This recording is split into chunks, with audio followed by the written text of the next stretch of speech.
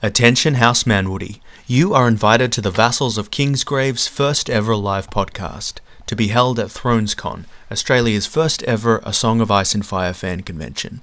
The convention will take place in Melbourne on the 20th and 21st of May.